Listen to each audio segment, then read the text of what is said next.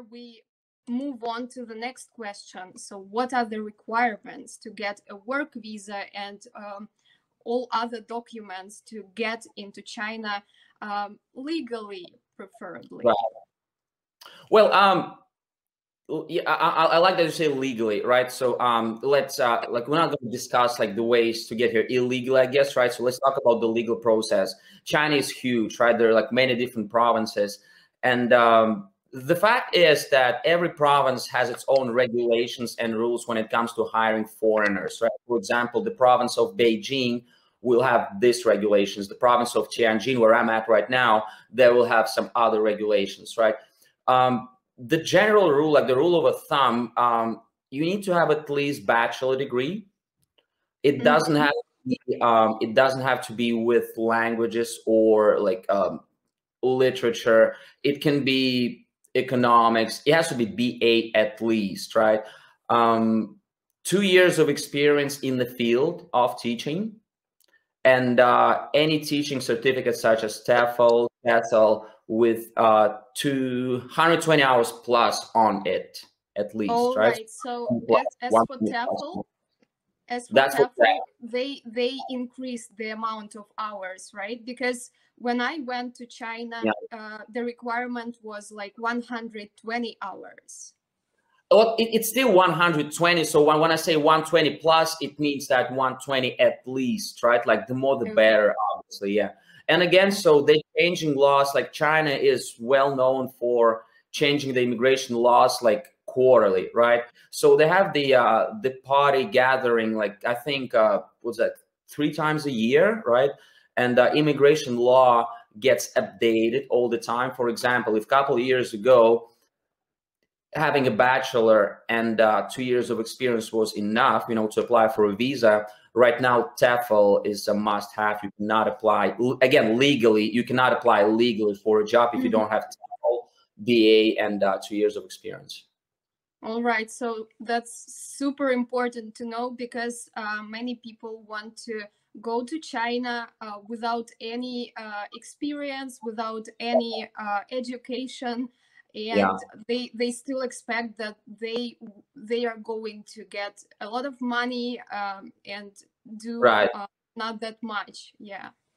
I'll be honest with you. It was the case. Um, it was the case. Let's say five years ago when I first got there. Five years ago, um, you were able to get to China at the age of 19, right? Without a degree, without any experience, without any TEFL or TESOL certificates, like pretty much speaking decent English, because the demand was there, right? The demand was there just pretty much for any foreign nationality to be in the classroom in front of the kids and deliver the class. That was the case five years ago. But I mean, every year, gradually, um, they filter they filter the stream of foreigners that flows into China and they're making rules more strict. And um, so for again, so we're talking about legal stuff, right? As I said before, like degree, TEFL, and uh, and experience. If anyone says otherwise, like they're lying to you, right? They're lying to you. If somebody says, "Hey, no worries, like no experience, no TEFL, welcome, we'll hook you up," right? Like, I mean, that um, it's it will be illegitimate. It will not be legal. My advice like if you need to know if you need to know like what are the requirements go to the government website. That's the only resource you need to have in order to get like the uh, the full picture the big picture of the documents that you need to be having upon entering. So government websites i think we will link to um we will have like some links later on right we agreed yeah, on that? yeah I, I think that we will do that after the session in the comments yeah. to this video on facebook and youtube because um yeah we we just didn't think about it uh, ahead.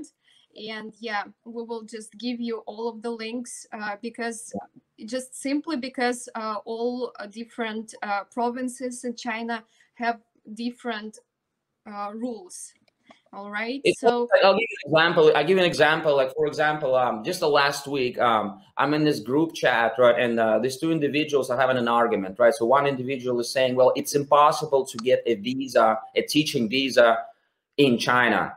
Another individual is saying, "Well, I'm in China and I'm on the work visa right now." The other one is saying, "Well, I'm in China also, but I cannot get one. It's it's against the law." and then I'm, I'm looking at their resumes and profiles, and I realized that you know what, she's from Shanghai and she's from um, what was that, mm, Changchun, right? Two provinces yeah. south, uh, south and north, right?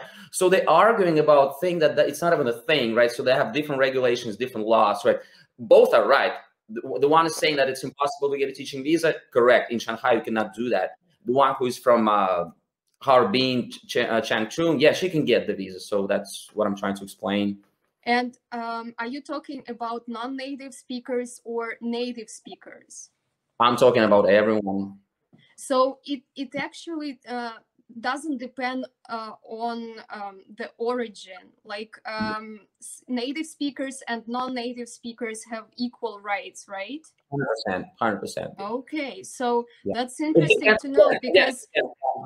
So, so before we move any further, um, native and, and non-native, like school will have um, school will have it written on their website like natives only right the mm-hmm. province mm-hmm. where you're applying for a job will have it on their government website uh, let, for example natives only if you want to obtain like english teaching position you have to be native. You have to be like from south africa new zealand australia canada us or or uk right? That's the case. A lot like for example but many many provinces right in order to become an english teacher let's say in early childhood education so i'm talking about kindergartens i'm talking about primary school maybe it's not a requirement right now. It's not a requirement. So you have again you have to go to the government website and you have to read into that right okay so um work visas are possible for non-native speakers. 100%. Yeah, I'm on one. Yeah, I'm on one. All yeah. right. So that's yeah. the most important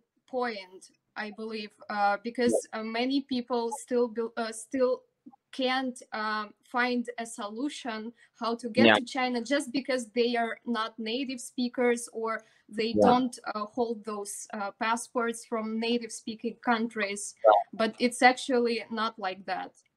So, so Lisa, again, like um, so, as I said before, do your research. Right, China has. I'm sorry, I'm bad with geography. Like, I'm not sure how many provinces are in China, but there are many, right? And each province will have its own regulation. In some provinces, like for example, I know that um, places like Beijing, since it's a capital, right, it will be challenging to get a work visa for a non-native speaker. But again, it will be challenging to get uh, visa that will say English teacher. It doesn't mean that you cannot get a visa that will say teacher. That's a difference. Yeah. That's a difference too, right? That's right. Yeah, that's true. Yeah. So, guys, um, number one rule uh, about uh, going to China is just do your research before um, you apply for jobs there and make sure you um, go to governmental websites and check all of the requirements um, related to uh, provinces you uh, consider. Because there are a lot of them and uh, if you choose like the, the biggest ones uh, like shanghai or uh, beijing um, it, it can be challenging that's correct. Yeah, that's correct. Again, for example, if you're dealing with the agent, right, and agent says, "Hey, don't worry, you know what? Like, we'll get your visa, no problem, in two weeks." Like, you want to ask your agent, "Can I please see some proof? Can I please see some government articles to support what you're talking about, right? Like, can you please send me some links, right?" And then if the agent ends up selling you some, uh, end up sending you some uh, some article from WeChat, blurry from 2015, ignore that you have to let that person go. They just want to make money. Okay. Oh, 100 or, or if they're saying like, oh, you know what? Um, I can't find this article right now, but I'll send that to you tomorrow. I have to double check it with my friend. If you're hearing any of that noise, that's uh, you don't want to be a part of this. Yeah, it's generally. ridiculous. Yeah. Uh, yeah. and and for example, if you still want to go to China, you um, ignore the rules and you don't get uh, this work visa yeah. um, and you find yourself uh, being in China illegally, then mm-hmm. what might happen? Well, uh, the range of penalties they have for working in China illegally or being in China illegally, it goes anywhere from fine. Fine can be anywhere from I think you're paying 500 per day RMB for overstaying. Well, it's not important. So pretty much it can go anywhere from fine to deportation to um, incarceration. They can lock you up for 30 days. You can actually end up uh, in Chinese jail. Gosh. Yeah. So, guys, just make sure you friends, check out friends, all had friends those. involved in all these uh, scenarios. Yeah. Alright. Yeah, so let's move on to the next. Thanks so much for watching. We are ITTT, the leading provider for TEFL and TESOL training courses. If you like this video, please subscribe by clicking the button down here and click on any of the videos here on the left for more interesting teaching tips for getting certified to teach English abroad and online.